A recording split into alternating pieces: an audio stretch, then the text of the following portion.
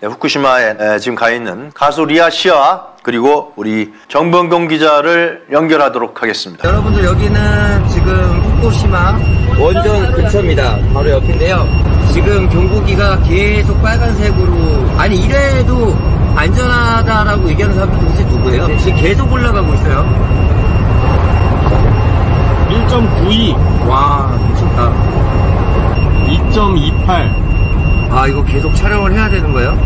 끝까지 가야 되는 건가요?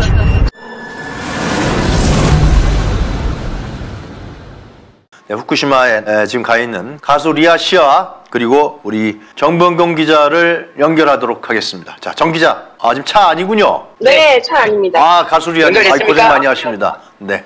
아, 예, 안녕하십니까. 지금 어디 가고 계세요? 오늘 여기, 네, 여기는 후쿠시마 후타바역이라고 네. 가장 어, 후쿠시마 원전에서 가까운 역입니다. 아, 예. 여기가 폐허가 됐는데 오늘 그 촛불연대 대표님 리아님 계시고 네. 어, 한번 여기 후쿠시마 현지에서 네. 어, 이야기 드리도록 하겠습니다.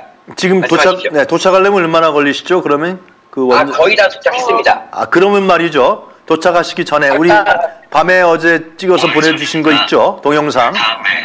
네네네. 네네. 음향도 좀 상당히 안 좋은데. 영상 한번 보여주시죠. 네, 영상 먼저 먼저 보고 그 다음에 음향 네. 조정해서 다시 연결하겠습니다. 네. 네. 네, 여러분들 여기는 지금 후쿠시마 원전 근처입니다. 바로 옆인데요.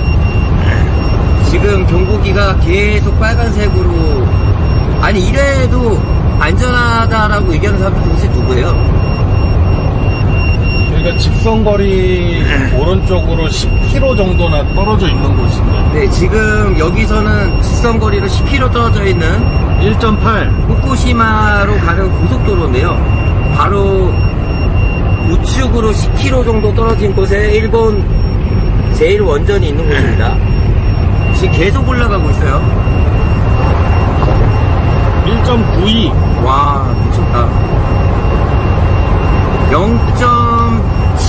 0.7에서 6이 안전범위. 안전범위고요. 그 이상은 위험범위입니다. 막상 경험해 보시니까 어떠세요? 어우, 이거 밖에 아, 여기 2.0입니다. 2.0입니다. 2.0? 야, 그 이 기계가 2.16. 지금 일본에 일본에서 운영하고 있는 그 측정기가 2.0을 지금 하고 있잖아요. 이 기계가 그럼 잘못됐다는 게 아니네요. 거의 정확하네요.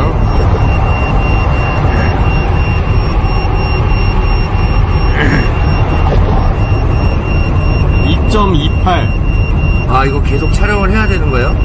끝까지 가야 되는 건가요? 그 시내는 0.2가 넘는다, 2가 넘는다는 거네요? 저 안쪽은 그렇죠. 아, 네, 지금 우리나라 국내 언론은 처음으로 저렇게 가서 아마 우리 서울의 소리 팀이 가서 취재를 하고 있는 것 같은데요.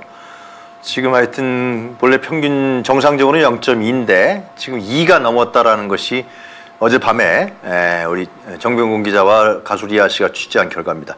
다시 현지로 연결하겠습니다. 네. 아, 네, 이제 도착했군요. 가수 리아 씨 보입니다. 네. 네, 연결- 안녕하십니까. 가수 리아입니다. 네. 저 가수 리아님, 그 지금 저희들이 어젯밤에 촬영하신 동영상을 봤는데요. 이 0.2가 정상적이라고 할 수 있다라고 얘기를 하는데 이 이상이라는 것은 어떤 걸 의미하는 겁니까? 어, 평균적인 어, 자연 방사선 양이 0.7을 넘어가면 안 되는 거거든요. 네. 네. 근데 0.7을 넘어가게 되면은 이 방사선 측정 기계가 네. 어, 소리를 냅니다. 아. 네, 여기는 좀 위험한 지역이다 이렇게 소리를 내는데 저희가 이동 중에 찍은 거기 때문에 계속 수치가 변화하긴 합니다만 네. 어, 제 2.0을 넘어가는 네. 예, 그런 구간도 지났었고 네. 예, 그래서 계속해서 이제 기계가 소리를 냈었던 거죠. 네. 네. 지금 계신 곳은 어디죠, 리아님?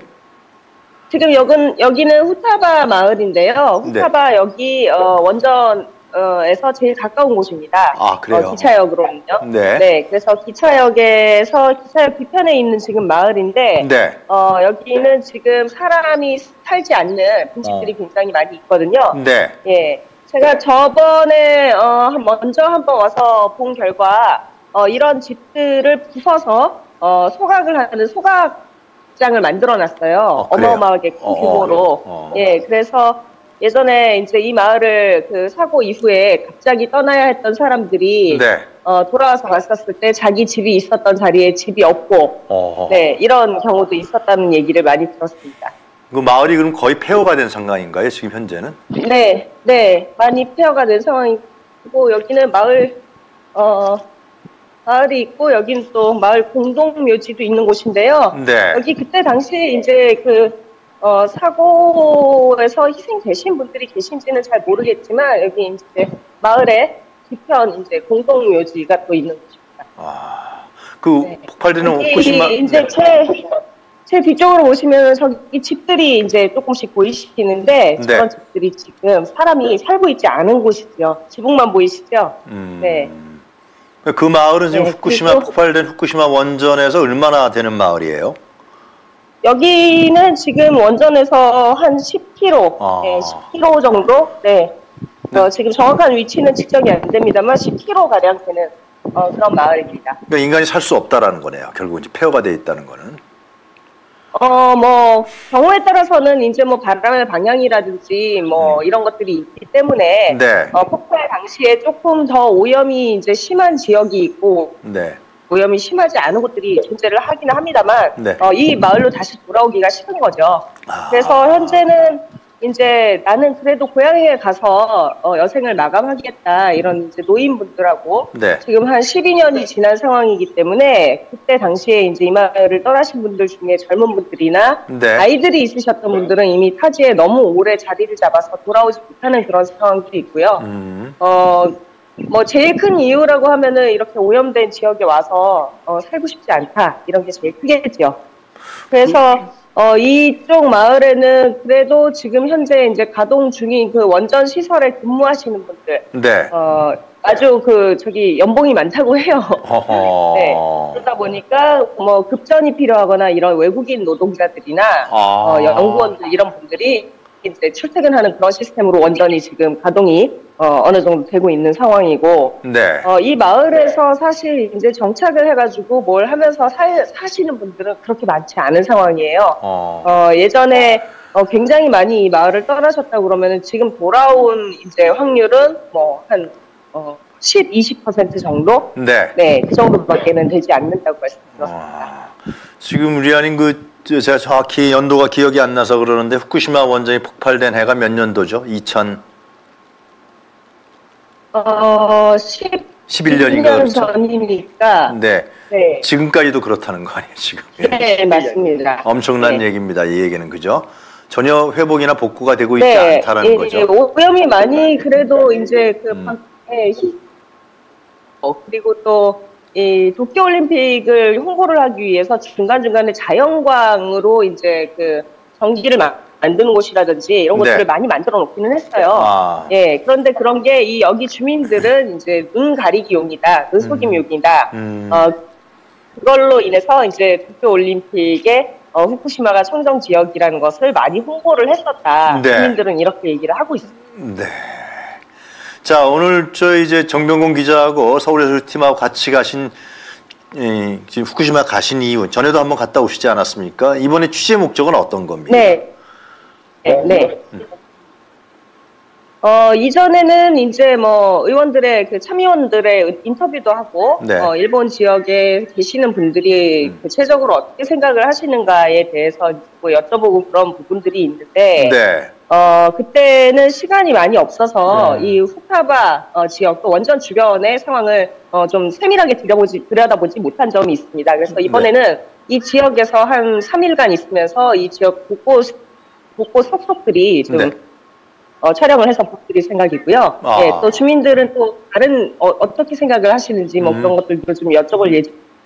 어제 어제 현지에 도착하신 거죠? 후쿠시마 현지에. 저희가 어, 여기 안내해 주실 수 있는 어, 네. 전 원전 기술사 어, 음. 그 원전에 이제 그 근무를 하셨던 분과 만나서 어, 조금 이 마을에서 가장 위험한 곳 음. 예, 그런 곳들을 찾아다니면서 네. 어, 촬영을 할 생각입니다. 그리고 측정기도 많이 가져가셨죠? 좀 그 거기서 측정도 하고. 네, 그러시려고. 네, 지금- 네, 여기는 여기는 지금 괜찮습니다. 괜찮아요? 지금 측정기를 갖고 네. 계시는데 0.35 정도 나와요. 아. 그러니까 지금 도쿄가 0.08에서 1령 정도 나오는데 네. 기- 여기는 일단은 기준치 이하로 나오는데요. 네. 아까 저희가 여기 올 때 이 빨간색으로 올렸을 때 몇이었나요? 어, 네. 그때 0. 어, 0.8, 네, 0.8 마이크로 시버트 정도였고요. 네. 지금 여기는 뭐 0.38에서 0.한뭐 41, 47, 뭐 이렇게 해가지고 변화를 하고 있는데 이게 고정값이 아니 음. 계속해서 변화하는 양이기 때문에 음. 그러나 어, 우리가 평소에 생활하는 양보다는 조금 많이 나오는 편이다. 어, 이렇게 하다가 거- 갑자기 걸어가다가 갑, 뭐 삐삐삐 하고 소리가 날 수도 있고요. 어. 이게 저희가 이게 오염도가 눈으로 측정이 되는 것이 아니기 때문에 네. 어, 기계를 계속 펴서 다니고 있는데 어, 이런 것들을 종종 만날 수 있습니다. 그 안간에 이 기계가 잘못된 거라고 얘기하시는 분이 있었는데 네. 어저께 고속도로 가다 보면 방사능 측정기가 있었잖아요. 네. 일본 현지에서 네. 설치한 거 네. 어땠던가요? 어, 같은데요. 같죠? 기준이. 예. 아하. 네. 어, 이 방사능 기계가 뭐 이 신빙성이 있느냐 어, 네. 이- 음. 이렇게 물어보시는 분들이 굉장히 많은데 네네. 그 여기 국토 국토관리부 네 국토를 이제 관리하는 어, 고속도로 관리하는 곳에서 설치를 해놓은 방사능 측정기가 있습니다. 네. 곳곳에 이제 고속도로 곳곳에 음. 어, 설치가 돼 있는데 거기하고 측정값이 예, 대체적으로 뭐 차이가 없었습니다. 그렇기 때문에 이 기계를 못 믿겠다 이러시는 분들은 믿으셔도 됩니다. 그러니까 그 후쿠시마 네. 원전 폭발되는 원전을 중심으로 해서 방향에 따라서 방향 네. 따른 그 지역에 따라서 이 측정 기준치가 좀 다르게 나오는 것 같네요. 제가 말씀을 들어보니까. 네네 네 사고가 났던 당시에도 아마 음. 이 동네 말씀을 들어보고 또 고속도로에 설치되어 있는 표지판 이런 것들을 보면 이 동네가 바람이 매우 강한 곳이에요. 아. 네. 그래서 예 바람 주의 뭐 이렇게 써져 있는 그런 표지판들도 많거든요. 네. 그러니까 그때 방사능 오염 물질이 어 전국적으로 퍼지긴 했는데 퍼지면서 이제 음. 바람이나 뭐 이런 것들의 영향에 의해서 조금 네. 더 많이 음. 이제 실려오고 이랬던 지역들이 있는 거죠. 네. 예, 그래서 편차가 조금씩 생기는 거고 이 지역 전체가 다 빨갛지는 않습니다. 아, 예. 이제 어제 현지에 도착하셔서 취재를 어제 저녁부터 시작하신 것 같아요. 그, 어, 어제 도착해서 도쿄에서부터 저희가 음. 어, 무슨 다른 장비를 하나 가지고 내려오느라 차로 이동을 했는데요. 네. 어, 여기 이제 후쿠시마 지역에 도착한 건 밤 12시 정도였고요. 아. 그 동안에는 계속, 예, 차도 막히고, 뭐 네, 이동을 네. 좀 했습니다. 그럼 이제 오늘하고 주말에 이제 본격적인 취재를 하실 것 같은데 아까도 말씀드린 대로 네.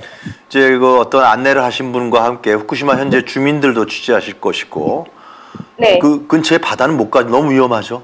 그 앞에. 어, 바다를 이따가 상의를 드려서 또 네. 한번 가볼까, 어떻게 할까, 이제 상의를 좀 드려볼 생각이고요. 네. 저번에 제가 갔다 왔기 때문에 어쩌면은 여기 좀 그 감시하는 이제 아. 인력이 좀 늘었을 수도 있습니다. 네. 그런 상황들도 좀 체크해서 움직여야 할 것 같고. 네. 어, 30일 날은 저희가 또 세계 원수폭 어, 금지 대회라고 해서 네. 어, 원자폭탄, 수소폭탄 그런 음, 뜻이거든요. 그래서 네. 히로시마 나카사키 이후에 만 들어진 그 음. 포럼에 참여를 합니다. 네. 예. 그래서 포럼 발표는 이번엔 준비가 너무 미흡해서 못하고 내년부터 하기로는 이제 그 집행부하고 얘기가 됐고요. 네. 어, 그래서 이번에 그 원수폭 금지 대회가 70주년 됐습니다. 아. 네.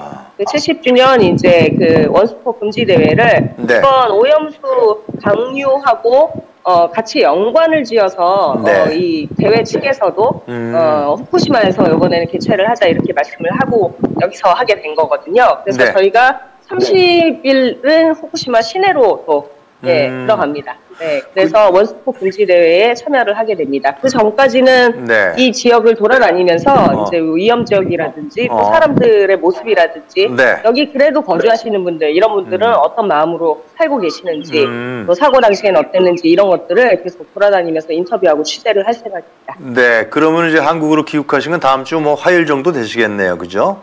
다 취재하고. 월요일 밤에 늦게 기- 예, 월요일 밤에 늦게 아, 월요일 밤에 어, 늦게. 하게 됩니다. 네, 예, 그럼 현지에서 취재한 걸 종합해서요. 다시 한번 우리 정병곤 기자하고 가수 리아님이 좀 정리해서 이게 사실상 한국 언론은 왜 가보 왜 안 가요? 도대체 어? 국내 언론들이 가서 취재해야 될 거 아닙니까? 예, 다큐를 네. 만들든지 하여튼 뭐 네. 음, 저희들 국내 언론은 처음으로 가신 것 같은데 뭐 제가 듣는 게 정확한 건지 모르겠습니다만 드론을 띄워도 드론이 가질 못할 정도로 방사능이 대단하다 그러더라고요. 그런 얘기가 맞습니까?